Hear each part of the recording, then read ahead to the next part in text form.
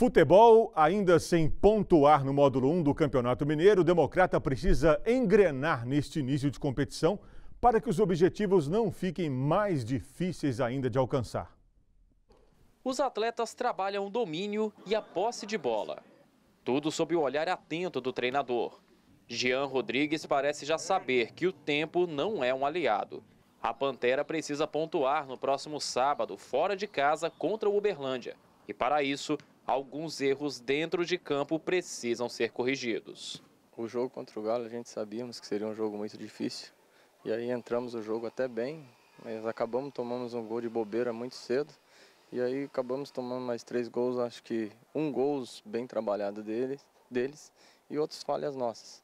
Então trabalhar bem a semana porque a gente precisa dessa vitória o quanto antes. A comissão técnica tenta encontrar a estratégia correta para conduzir a Pantera à primeira vitória.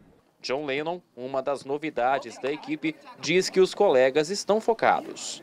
E sabe que esse jogo vai ser um jogo muito difícil, né? Como foi os dois primeiros jogos, né? Então acho que a gente tem que ir com muita atenção, né? É, é, é bem focado, bem fechado, para que é, a gente possa, possa fazer um, jogo, um bom jogo, né? Então acho que a gente precisa ser bastante competitivo nesse jogo para que a gente consiga um resultado positivo. O Uberlândia suou a camisa para empatar com o Patrocinense em 1 a 1 na última rodada do campeonato. Isso pode servir de motivação para a Pantera, que precisa fazer do próximo jogo o pontapé inicial para a reação na competição. O Democrata é o lanterna do Grupo C, sem nenhum ponto conquistado. Após o Uberlândia, a equipe encara o Tombense no Mamudão, depois o Pouso Alegre, fora de casa, e em seguida recebe o Cruzeiro no Mamudiabas. Bruninho, que teve boa atuação contra o Galo, diz o que a equipe precisa fazer para vencer o Uberlândia e voltar para casa com o primeiro saldo positivo. A gente está se preparando para uma final, né? Que esse jogo é muito importante, a gente tem, precisa pontuar, a gente sabe do, que a gente vem de duas derrotas, então precisamos fazer ponto. Então a preparação é como uma final, o jogo da nossa vida, porque precisamos fazer esse ponto.